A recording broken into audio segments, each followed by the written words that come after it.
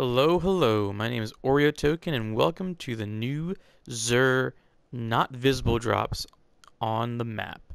Now, with the new DLC, Forsaken, Xur will no longer be visible on the map, so it's going to be harder to find them. So, if we start off, Xur's location is at the Winding Cove on the EDZ. So log into the EDZ, jump into here, and he's at the typical location he usually is on the Winding Cove. So let's go there and take a look at where he is.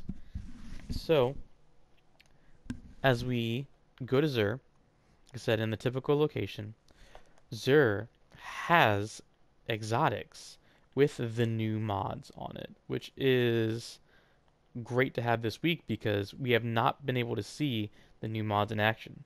So let's go up to Xur, grab what he has, and see what's on there. So we'll go back to his regular location. There's many different ways to get up there, but this is the way I usually go. Up this way, through the cracks, and then, like I said before, Xur would have a floating thing above his head.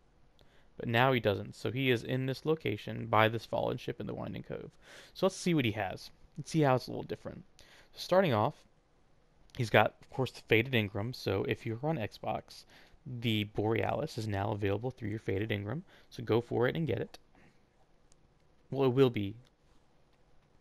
Alright, so Knucklehead Radar. Let's take a look at it.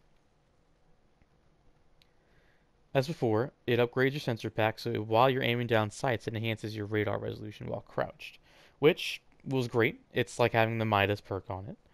Secondly, your typical reinforcements for uh, your reinforcement mod and your restoration mod, so recovery and resilience. Now, for the Forsaken mods, it has bow targeting, which is improved target acquisition accuracy and aim down sight speeds for bows which will be very big for when bows do drop on Tuesday. next one is hand cannon targeting. Hand cannon targeting. This would be my preferred because I am a hand cannon user, as you see by the hand cannon in my hand. But hand cannon targeting, what that does is it will improve target acquisition accuracy and aim down sight speeds for hand cannons. That's going to be awesome because it hand cannons needed a buff, and this is one of the ways they could buff it. And the last one is hands-on, gains bonus super energy on melee kills. This is going to be great in PvE and even in PvP if you're really good with your melee kills. With the hunter, it can be. Um, and then the uh, the next one is shotgun reserves. Increase the ammo for shotgun you carry, and then heavy ammo finder.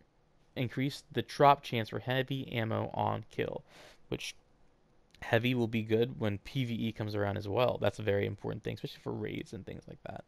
The next one is Prometheus Lens. Um, this is about all the same. Um, so basically, if you haven't gotten one, I would go back and get this. Um, they've done a lot to trace rifles now. They've actually improved the time to kill with trace rifles in this new DLC and PvP. So if you're looking at a trace rifle kill, this might be important. Also, if you're trying to finish the collection on PS4, the Void Trace Rifle is coming out in the DLC coming up. So, I would go ahead and pick up the Solar one. If you don't have the Cold Heart, try to get the Cold Heart and then get the Void one too in order to complete the set. After that, we have the Vesper of Radius. Um, this one's perk is Rifts incre- release an arc shockwave when cast. Rift energy recharges faster when you are surrounded by enemies. Alright, so increased resilience or recovery are the two mods you can add. The Forsaken ones are unflinching bow aim, reduces flinch from incoming fire while aiming bows. We don't know how bows work quite yet, but I can only imagine that would be very helpful. The second one is unflinching fusion rifle aim. Reduce flinch from incoming fire while aiming fusion rifles. Usually when I'm using a fusion rifle, I do not aim down sights on ADS, but if you do, that could be useful if you're using a Telesto on a boss. You don't want to miss in your heavy shots. That'd be very useful. The last one is unflinching sniper ammo. Let's just take a moment and understand that.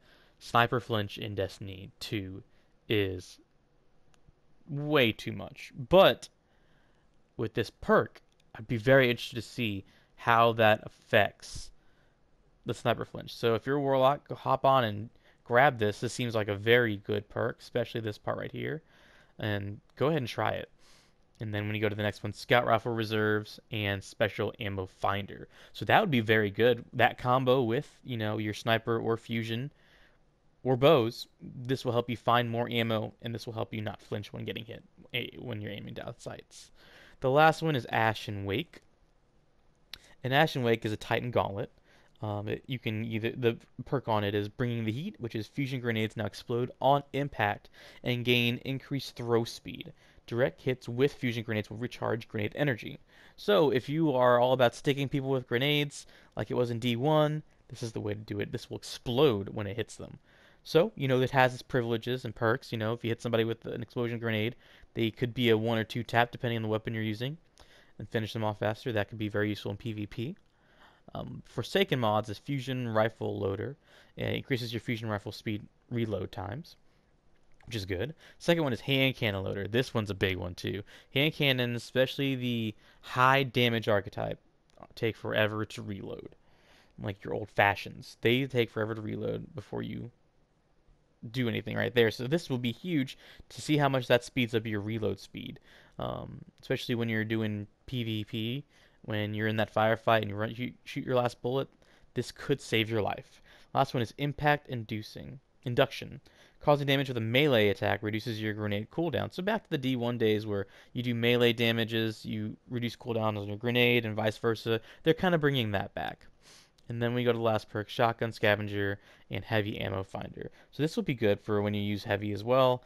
Um, and I think that would be a great perk that we have. It's kind of interesting that they don't have a preview available, actually. That must be a bug in the system. But, you know, Destiny's working on it for the next drop coming on Tuesday to fix all the issues. But right now, I am a hunter. I'm going to pick this up. I'm going to put it on. Yes, I am running the Worm Husk. Um, as we see, my Knucklehead radar from year one does not have the perks. This is very important.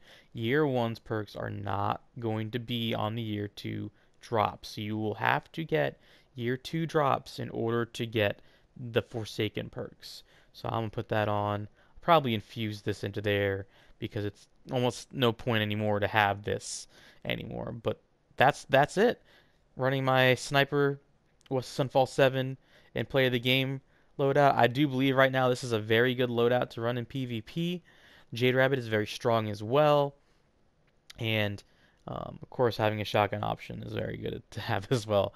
So, for this video, this is where Xur is on the Winding Cove. Come over and find them, pick up some of these exotics because they can be very helpful. Once again, my name is Oreo Token, and have a great day. Bye.